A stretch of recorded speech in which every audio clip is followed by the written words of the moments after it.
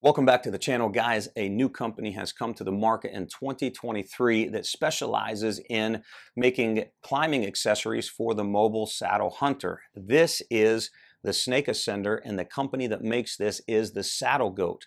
About two months ago, Roman, the owner of the Saddle Goat, a veteran-owned company, by the way, which is a plus, Roman reached out to me and said, man, I've watched your YouTube channel now for a while. I've purchased saddle hunting products based on your recommendations. I love what you do. But since then, I've come out with my own products and I wondered if I sent one over, if you would be able to take a look at it, give me some feedback, but also do a product highlight video, which of course I said, yeah, man, absolutely, send it over. I'll check it out and we will put together a product highlight video for the Snake Ascender. Now, he also offers accessories for your climbing sticks, bow slings and things like that. And so I'm going to show you some sneak peeks of his website as well. But let's go ahead and break the Snake Ascender down. I'll get some close-ups for you and I'll show you how this thing works and attaches to virtually any platform and also any saddle that has MOLLE webbing attached to it. The Snake Ascender is comprised of essentially three different parts or components. First, you have the 550 paracord that's braided here.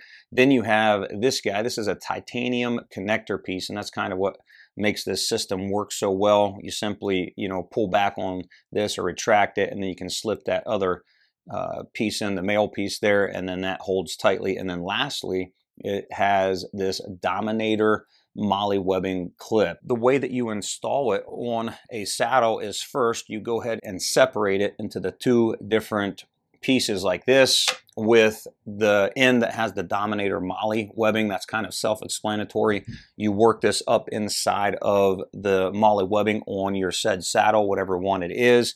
And what I have found on both of the, the styles of MOLLE webbing, the loose style and also the tight style, is this Dominator clip actually holds really, really well.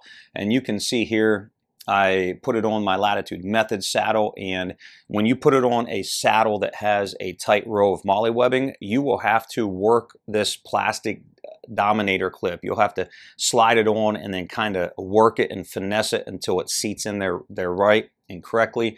And also, for example, on my H2 saddle, you'll notice I can easily slip this up into that MOLLE webbing, and even though it's loose, this Dominator clip really, really holds very, very well. And you can see I can kind of uh, wiggle it around and jerk it around. So that's what you do with this piece of the Snake Ascender. And then the second piece is all you have to do is girth hitch this second section to your saddle platform wherever you would want it to go um, on this case let's just let's just put it down here and this is my battlement, or not my battlement, this is my wild edge battle axe. So I'm simply going to slide it in any given place like that where I can girth hitch this.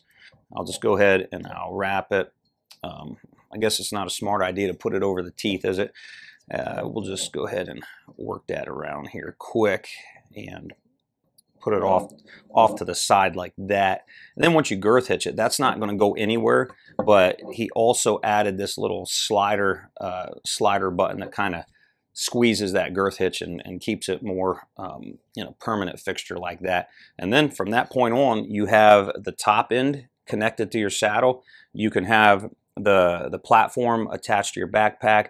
When you get to the base of the tree, all you have to do is simply pull off your platform with your saddle on. You'll just reach back. You'll, you'll pull down the little connector tab like that, um, insert it, and then it's attached to your saddle. And now you can climb hands free.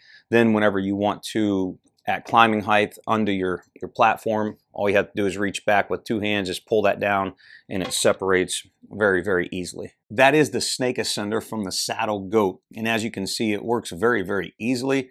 I think it's put together nicely. This guy comes in right at about $38 or 38 dollars and 99 cents somewhere right around there. Um, again this is a veteran owned company. You can connect with roman on instagram and uh, he also has a website. Speaking of the website as you can see right here if you go to the saddle goat website and go up to like his shop you will see that he has the snake ascender. He also makes attachment products for carrying your sticks up the tree with you, and then a few little other products that he does. But again, the Saddle Goat new this year, and it is a company that's specializing in making accessories for all saddle hunters and the mobile community. As always, if there's any questions, drop them in the comment section below, and I'll do everything I can to answer those questions for you. And until next time, good luck to you.